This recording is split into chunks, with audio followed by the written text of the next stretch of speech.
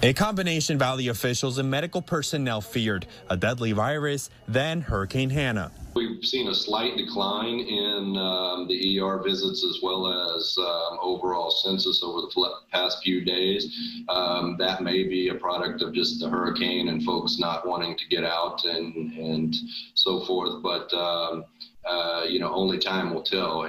Todd Mann, CEO for South Texas Health System McAllen, says despite the slight decline, his hospital is over 100% capacity and heavily counting on the Army. I think took the pressure off them and, and we're able to augment their staff so that we can continue to care for the patients and uh, increase their capacity. Army Commander Colin Freeman leads the medical task force inside McAllen Medical Center, a group from places like Fort Bragg consisting of more than 80 ICU nurses, doctors, and pharmacists. We have to work closely together. You have to, you know, are constantly moving. I mean, it's busy, but uh, uh, you know, the thing I take away from this is just the the ability to build teams quickly with the staff of this hospital and just the the successes of, of watching that system work as we as we help them.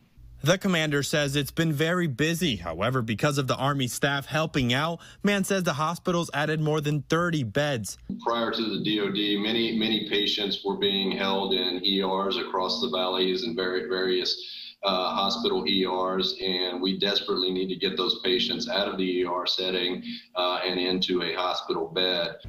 Mann says they were ready for the hurricane and had only minor damages around the facility, and that goal remains controlling the spread of COVID 19. We just hope that uh, people, again, take this seriously, they do the right thing, um, and that we can see some of the pressures off of the healthcare systems uh, decline. And um, you know, while we have these great heroes that are that are assisting our hospitals and our community, uh, they are human and they are tired, and um, you know that can only last for so long. And Mann says how long the army will be here depends on how many people come into the hospitals. Christian Colon, Channel 5 News at 10.